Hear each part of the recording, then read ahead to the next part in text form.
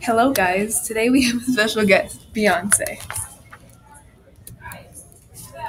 Hi, I'm glad to be here. Okay, so there's been some talk of a woman being on the $10 bill. Why do you think you should be on it?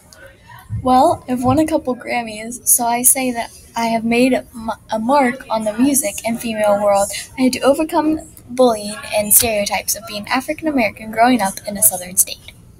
Wow, such an inspiration to young girls. All right, next question. Why are you a strong symbol to women in America? I would say that I'm a symbol to young women because I can relate to them not just on a famous level, but on a person to person level. Amazing. Why do you think it's important for a woman to be on the $10 bill? It symbolizes the importance of womankind and the hardship we have to overcome as we grow as a country. Okay, what are some accomplishments you've had in your lifetime? Well, I've done some great things. For example, I have helped with Feeding America and Houston Food Banks. I also donated a handbag to an auction benefiting women's funds for Scotland. Wow, so generous. What are some defining moments in your life?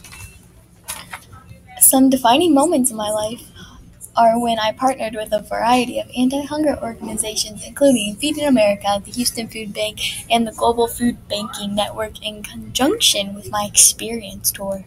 You give back so much. Let's talk about how your family played a part in your success. They supported me and my decisions. As you probably know, before I went solo, I was in Destiny's Child, and my sister was a backup dancer. Talent runs in my family, so they were all very excited to hear when I started going on tour. Wow, your family is amazing. What was it like growing up in Houston, Texas, and being a girl? Well, as a child, I always had a great interest in music and the arts. I loved performing and singing. When I was eight, I auditioned for Girls Tyme, and my father soon became manager. Being a girl in the industry of performing and everything was hard. Women aren't as accepted as men, but I know there are probably, but now there are probably more girl singers than guys.